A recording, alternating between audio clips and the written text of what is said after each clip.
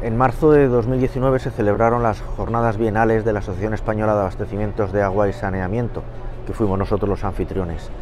Cuando concluyeron yo me mezclé entre la gente que salía y dio la casualidad de que una persona acababa de llegar y le preguntó al otro, a otro, ¿cómo ha ido? Dice, nada, siempre lo mismo, solo los de Valencia hacen cosas nuevas.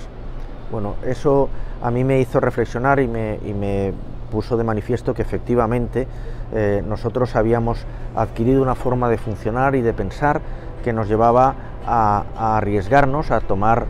eh, decisiones diferentes fuera de,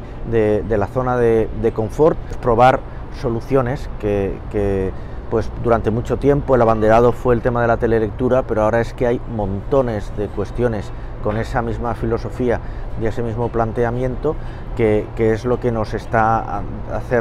nos está haciendo ser eh, distinguidos en, el mundo. Hemos